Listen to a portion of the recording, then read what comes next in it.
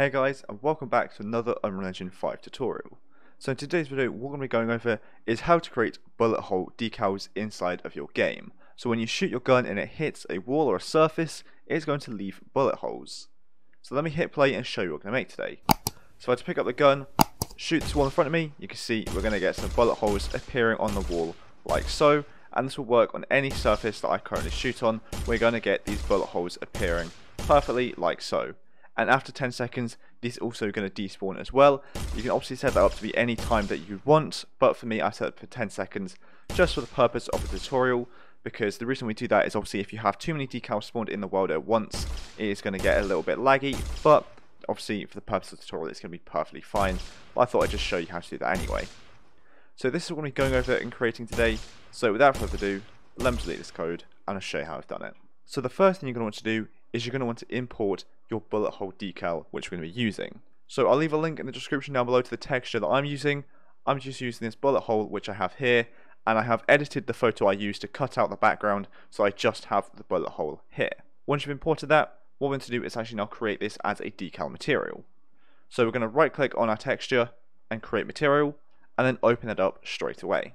In here we want to change the material domain from surface to deferred decal and the blend mode from opaque to translucent. Then we also want to plug in the A into the opacity here, so the alpha into the opacity, just so it does keep that translucency that I've created. So it's a PNG, I've got a transparent background, I want to make sure I keep that, so I just have the bullet hole.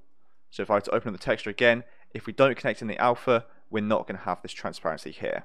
So that's why we've done that. And that is all we need to do to create the decal. It is that simple. We've now got our decal material here. So if I were to apply and save this and close it, what we can do is drag in this material into our level and you can see it's acting as a decal, it's now working perfectly.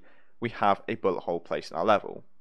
Now you'll see that this is obviously absolutely massive and not at all what we want, unless obviously we're creating a meteor, but we're not, we're just creating a simple bullet. So what I'm going to do here is I'm going to keep it placed on my level so I can actually size it to how big I want. So on the right, we're going to change the decal size here. I'm going to untake the padlock just so I can change them all individually. And I think what I'm going to go with is 10, 10, 13, I believe I found was a good value for me. Maybe not 13, but 12, or maybe even 10 at this time, actually, it might be good. The thing is, it's not perfectly circular, so I don't want it to be perfectly square, because then it looks a little bit squashed. So I think that size is going to be good for me. Obviously, I've messed about with it earlier when I was creating the code. But what I'm going to do as well is just drag in my bullet to see if that matches up. The bullet is a little bit bigger than the hole, but obviously, I think this is going to work quite well because the bullet is actually quite big as well anyway. Obviously, you can also use any size that you want. If you want to be bigger, if you want to be smaller, you can just match it up to the size of your bullet so it does make more sense for you. But for me, 10, 10, 12 is going to be perfect, so I'm just going to remember that number here. Now I'm going to delete this, or if you want you can keep it in so you have a reference to that number for later on. But I'm going to remember it. So I'm going to save this, and now we're going to start creating some of the code to actually spawn in this decal when we shoot. So to do that, we want to open up our projectile blueprint. So for me, that's content, first person, blueprints, BP, first person projectile. So your projectile, your bullet, or this might even be in your gun if that if you're maybe doing like line traces. Basically, where you're registering a hit from your bullet, you want to do this code there. Now, if you're using the first person project like I am, you will probably have some code in here you can keep it there if you want, or you can delete it like I have. If you've kept it there, you're going to want to connect this into false of the branch. But what we're going to do is we want to just simply do spawn decal attached. Not at location, we want to do it attached. The decal material is going to be our bullet hole mat that we have here. Our decal size is obviously what we just created, so mine was 10, 10, 12. Attached to component, we want to do other component from the event hit, like so because I should also mention I'm doing this out of event hit. Sorry if I forgot to say that. Attach point name, I don't need to worry about. If you're maybe doing this onto a player, so maybe some armor, you might want to do that. But for the most part, you probably won't need to worry about that.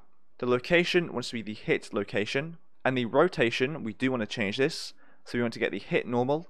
And we want to get rotation from X vector, like so. Connect that into rotation. And again, that's after the hit normal, not the hit location. Then after this, I'm simply just going to get destroy actor, so that we're going to be destroying the bullet upon impact as well. Now we'll compile and save this, and close this and we should see this working for us. Now the reason why we have to do rotation X vector is because if we were to drag this in, you'll notice it's already going to be rotated to minus 90 on the Y. If I just set this to 0, it's not going to work properly. If I set it to 90, it is going to work properly, but that's but if I raise it up slightly, you'll notice we have stuff like this. So essentially we just need the rotation to fit perfectly to whatever surface it lands on, because obviously shooting the floor and shooting this wall or shooting that wall isn't going to have the same rotation values every time, so we just need to make sure it changes based on where we hit it and where we land. But let's hit play to test this out. So if we just shoot this wall, nothing is going to happen, so let's have a look at why that's happened. And that's because I actually forgot the final two steps of this, so very sorry about that, I don't know how I missed it. But what we're going to do is location type set to keep world position, and the lifespan I'm going to set to 10. So the lifespan here is how long in seconds it's going to be in the world. If you leave it as 0, it's going to be there forever. It's not going to despawn unless you destroy it. If I set it to 10, it'll be there for 10 seconds and then it will disappear. So again, I'm setting it for 10 for the purpose of the tutorial, but for you, you might want to set this to a minute, two minutes, whatever it is for you that makes most sense.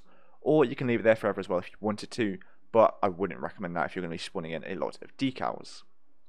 So let's compile, save this, and then hit play to test it out, out once again. If we just shoot, you can see we're now getting bullet holes appearing on the wall. And if I shoot the floor, they're appearing here as well. If I shoot other surfaces, so other walls, they're going to be appearing in the correct location and rotation as well. And then also if we were to wait 10 seconds, you can see these are going to be despawning too after the time is up, so they're not going to be staying in the world for the whole time. As you can see perfectly there. So I think that'll be it for this video as we've done everything we want to do. What we've done is we set up a bullet hole decal system in which when we shoot a wall or shoot any surface, we're going to get bullet holes spawning like so, so it just gives that extra level of realism and an extra effect inside of our games.